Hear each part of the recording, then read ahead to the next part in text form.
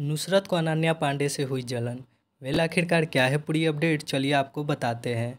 Well, जैसा कि हम सब जानते हैं कि अभी ड्रीम गर्ल टू रिलीज़ होने वाली है, जिसमें आयुष्मान खुराना के साथ लीड रोल में अनन्या पांडे है।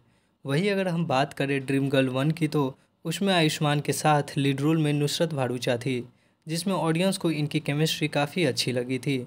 और यही वजह है कि सबको लग रहा था कि ड्रीम गर्ल टू में भी आयुष्मान के साथ नुसरत होगी। पर जैसा कि आप सभी जानते हैं कि लीड रोल में अनन्या पांडे हैं। अभी रिसेंटली जब मीडिया ने नुसरत से ड्रीम गर्ल टू के बारे में पूछा कि आप इस मूवी के बारे में क्या कहना चाहेंगे तो नुसरत ने कहा कि मुझे यकीन है कि ड्रीम गर्ल की तरह इसकी सीक्वेंस ड्रीम गर्ल टू भी लोगों को देखने में काफ़ी मज़ा आएगा। और उन्होंने कहा कि आयुष्मान फिर से पूजा बनकर ऑडियंस का दिल जीत लेंगे। और उसके बाद नुसरत ने कुछ नहीं कहा, इसलिए बहुत लोग का कहना है कि नुसरत को ड्रीम गर्ल टू में काम नहीं मिला इसलिए वो अनन्या पांडे से जल रही है। दरअसल लोगों का कहना है कि नुसरत ने मूवी की तारीफ़ की, आयुष्मान की भी की, पर अनन्या की नहीं की। इसके साथ ही नुसरत इस मूवी के ट्रेलर लॉन्च के दौरान भी नज़र नहीं आई। वैसे आपको क्या लगता है, क्या नुसरत सच में अनन्या से जलस है या फिर नहीं? हमें कमेंट्स में ज़रूर बताएँ।